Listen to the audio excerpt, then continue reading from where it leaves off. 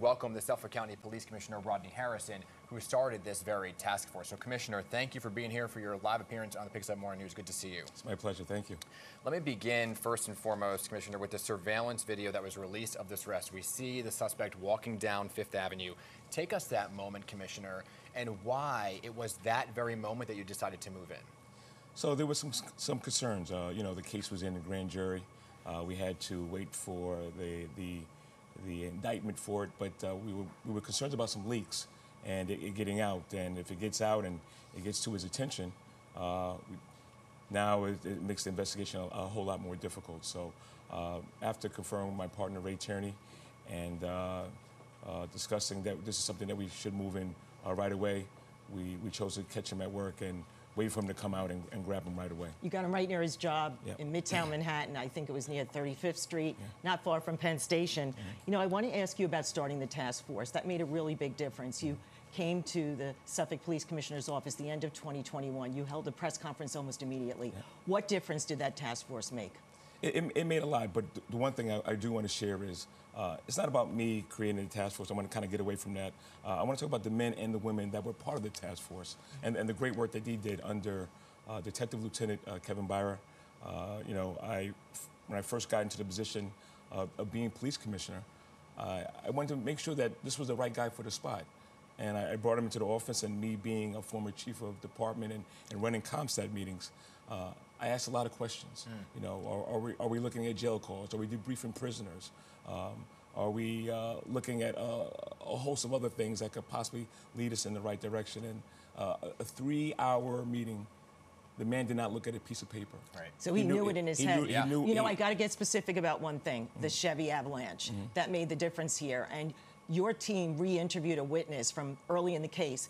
And that second interview made all the difference. What details did he give you? I think he even gave you a description of the suspect. Yeah, so uh, one of the uh, investigators that were assigned to the task force from the state police, uh, Tiffany Atai, um, she was uh, really somebody that kind of moved the needle in, in the investigation. And uh, she knocked she, the wall down. yeah, pretty much knocked the wall down. Well, well said. But uh, we were able to now track this green avalanche to that little box in Massapequa Park. Uh, we re-interviewed uh, the individual who kind of gave us a better description of Rex Heuermann and saying pretty much he had bushy hair, these big glasses, and was the size of an ogre. Yeah, and, ogre. and that, I mean, and that really uh, helped us get this case going in, in the right direction. Was Rex ever on your radar prior to that very moment? And was he the only suspect that fit the profile of the serial killer? So we didn't have a, profile of them.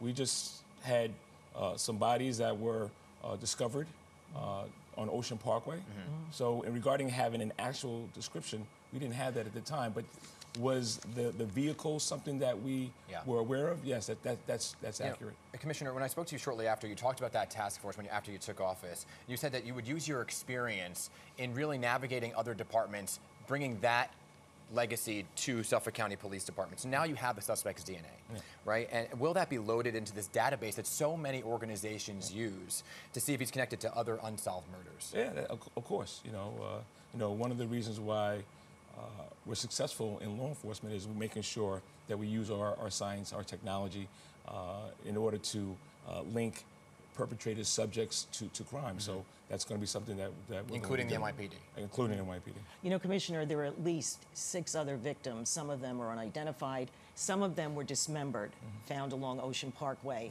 And do you think that another killer might have done that, or do you think it's the same killer? Time will tell.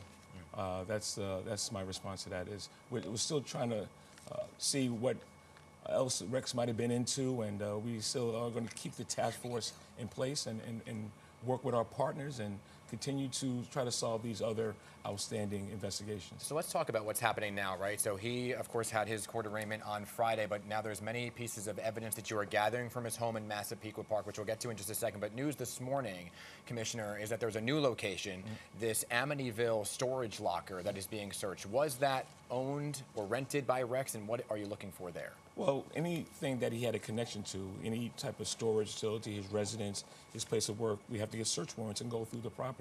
Are there body parts or things that we need to take a look at? Are there trophies of some of the victims that uh, uh, unfortunately, that he stored in that location. So uh, we're going through there right now. That was on our radar. This is not a, a new developing uh, part of the investigation, uh, but we are going through it, and we're going to uh, see what it could link to to help us with the with the case. I think what's really disturbing that came out in court was that this suspect allegedly was going all over the internet searching for information not only about his victims but about families. Yeah. He was also looking up child porn. Yeah. He was also looking up torture porn.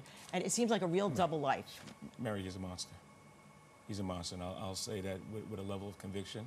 And I'm just so proud of the men and women of the task force. We were able to get this monster off the streets. Uh, Commissioner, I- mean, um, and the neighbors in that neighborhood obviously shocked that he was living among them this entire time in that red house that was uh, kind of stuck out like a sore thumb on that block. It did. Um, i- now that you have the investigators, we have this drone video from our Pix 11 drone that captured the, the men and women going into their home in their Tyvek suits, bringing out some of the evidence. Can you talk about what you were looking for inside the home at all? I know it's an ongoing investigation. It, it is an ongoing investigation, but uh, anything that could help us uh, connect him to maybe other crimes that may be on that Ocean Parkway or anywhere else, we want to take a look at. But uh, uh, it's a very cluttered house. Uh, uh, it looked like he was like a like a pack rat with a lot of different things in there. So, uh, uh, disturbing individual. I think disturbing. it, what was also interesting, Dan, is that his wife was always out of town when these murders happened, according to what's said in the indictment. What do you make of that? Well, and her DNA Right. was found on some of the victims, and it could have been transferred from his clothing. Well, I think uh, we, we stated before he was living a double life, Mm. you know, and he capitalized uh, on some of his horrible activities when she was out of town. But uh, uh, once again, we uh, uh, did a lot of great work. Yeah. Uh, it took us a while. Uh, this police department got scrutinized unfairly. I'll make sure that's very clear. Uh, but coming together, uh, we, we got the job done. And but but we still got some more work to do. Yeah, Commissioner, just I know we're out of time, but I just want to go back to the initial question, right? You said you moved in because of the of fear of leaks. Did you ever fear that any other women were in danger? Of course.